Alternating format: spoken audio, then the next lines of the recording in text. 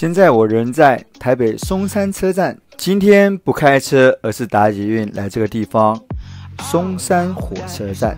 然后要在捷运旁边的饭店住一晚。这个饭店很简单，就在我们的松山火车站过了一个空桥，也就是 CityLink，就可以抵达。没想到吧？去饭店住一晚，竟然是用捷运就可以抵达的地方。我蛮喜欢两个建筑连接一起的空桥。好了，说着说着，我们就到了今天的主角安保。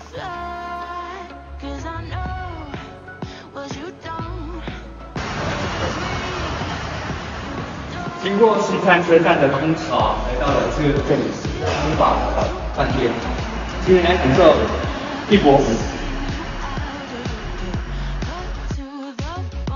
好，今天来到了安保的大黑山市区，这边迎面而来的深厚壁画，很明显有很浓浓的美国风。啊，观察呢是一个很大的柜，虚拟的落地窗，然后很明显可以感觉到灰色的红叶枫。啊！一零一，呃，我的 master。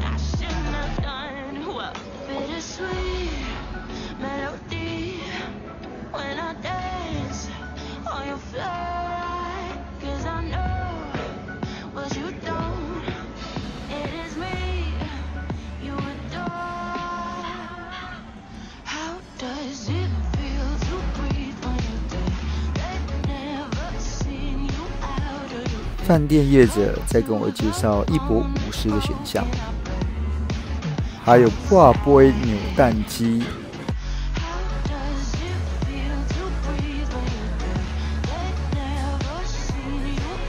记得重新选择大量的落地窗，所以你会看下去望了一望无际的水景。其实远看其实有点像，有点像日本的一个景色。这样的下午茶是不是很享受？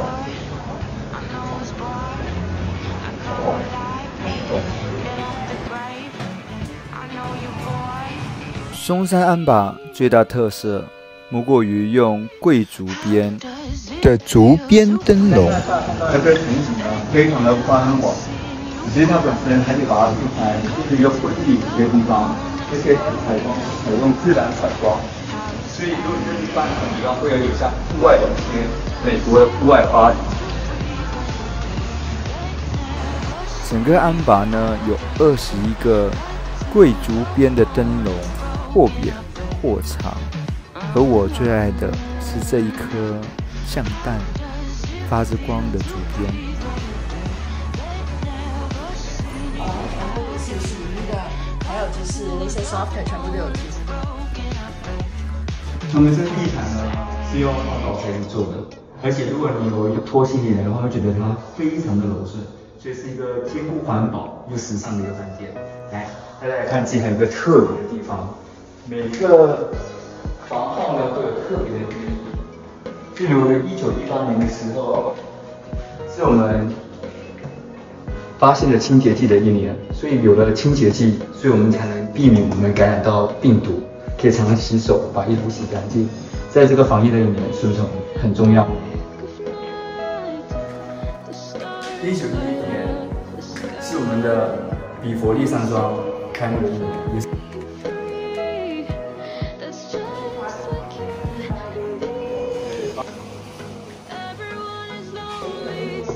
Do you wanna build a snowman? Petrify。二零二零消失的奥运，由于经理人实在太好了，所以带我来参观这最多人喜欢的房型，可以远眺到我们的一零一，这是最基本的房型哦。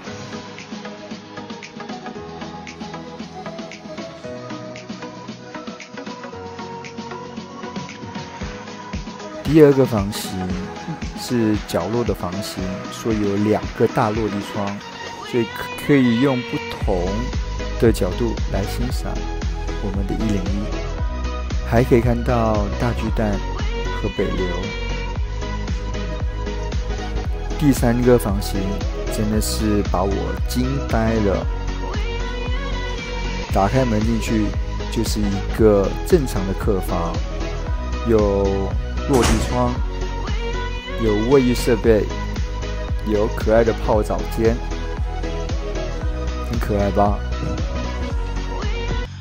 从泡澡间经过卧室，再把门推开出去，你就会发现你进入了一个会议室、展览厅，甚至有些人把它当做一个小型婚礼或煮菜的地方。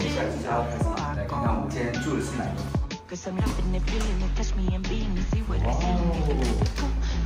所以我们看到的是这里有一个椅子和一个啊茶水间，所以这里人都有一个胶囊咖啡，一定会有三颗胶囊给你使用。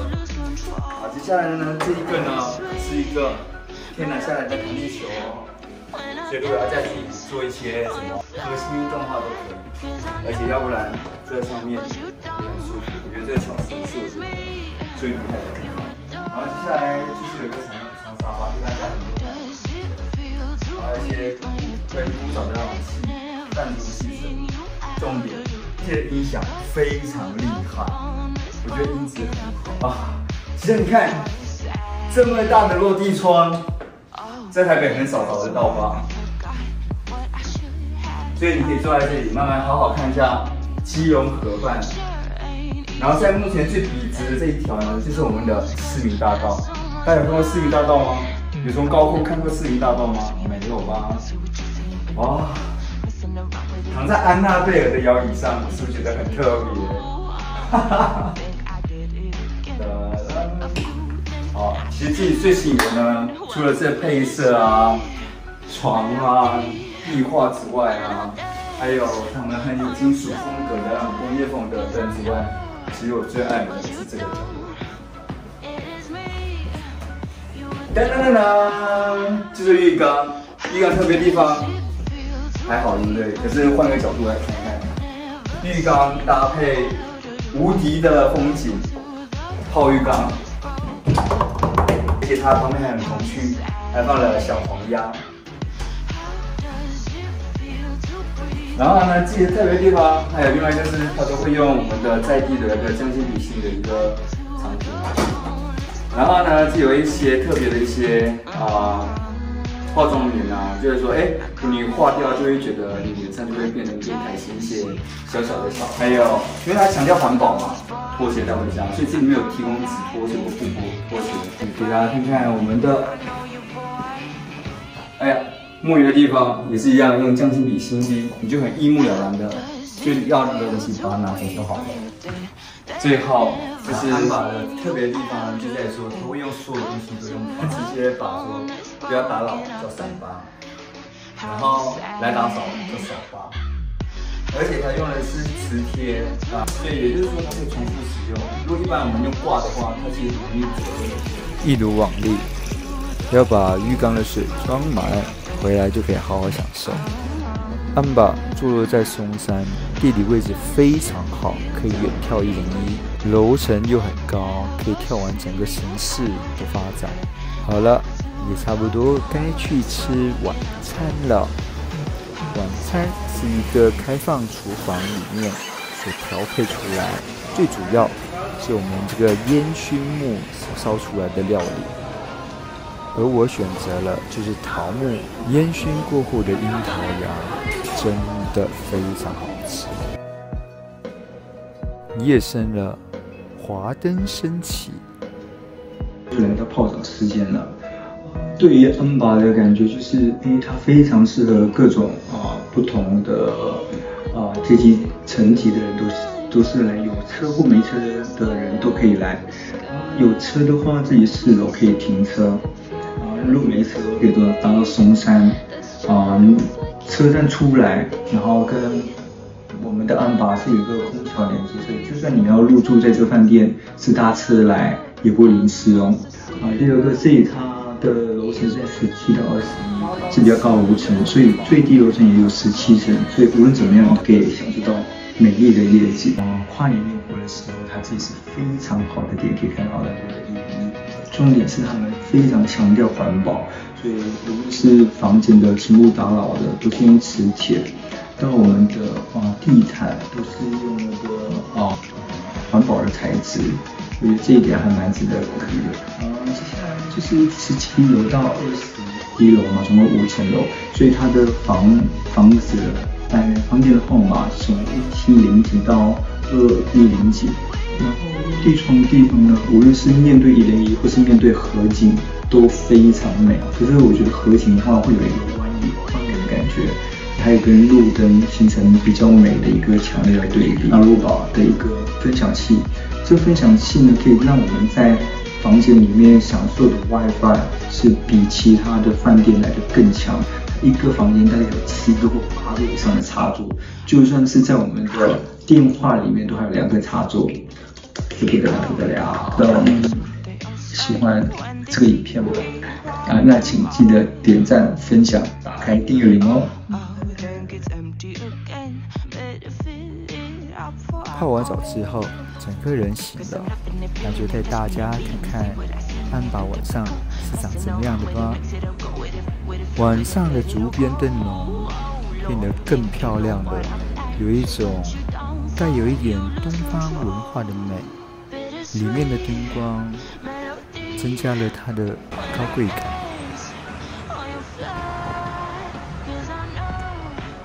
好喽，看了外观。我就要去睡觉喽。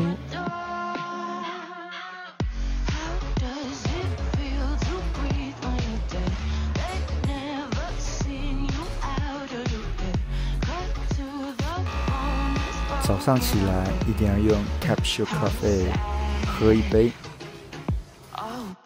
泡完早餐就送到我面前了。真的是一个很贴心的服务，可以让我免于人挤人啊，或是要排队才能吃到东西。意外的还蛮丰富的耶。因为疫情的关系，所以啊，饭店还提供了，如果你不想要跟话，你可以叫来润色所以就这时候你可以一个人享用自己的早餐和自己的台式吃早餐。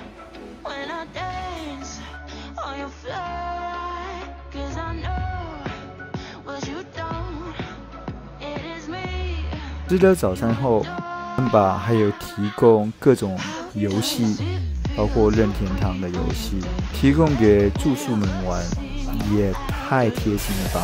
玩完后一身汗，我就要洗澡，回去上班喽。